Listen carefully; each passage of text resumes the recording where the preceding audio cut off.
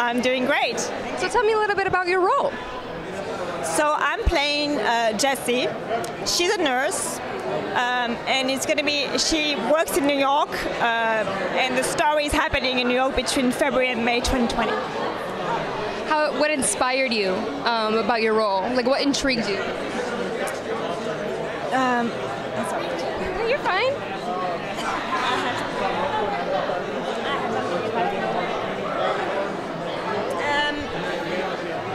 She's um, she's based on a lot of real uh, people, real life people. I talked to uh, many nurses and, and doctors, and um, she's dedicated. She loves her work. She loves uh, people, and she's very serious. And she wants to do her best. So yeah. What do you hope audiences will learn from this movie? What do I hope? What? What do you hope audiences will learn from this movie? Well, it's a love story, uh, so um,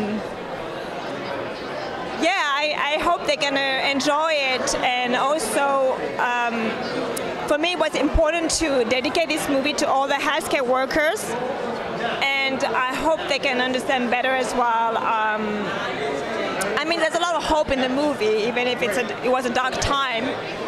But really be thankful for all,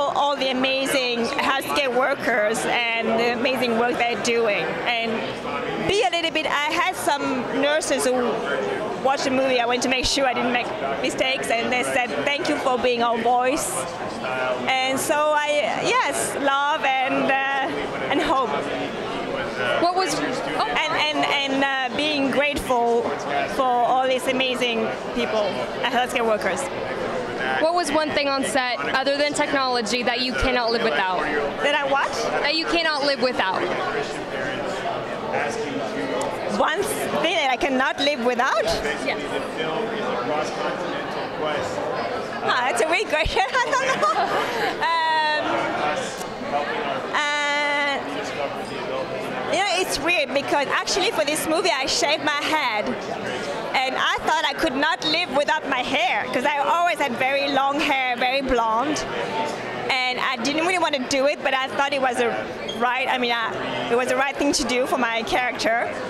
And uh, and actually, I could live without because I, I felt great after. I, went, I felt great doing it, and I felt great after. So yeah, it is going back nicer than before.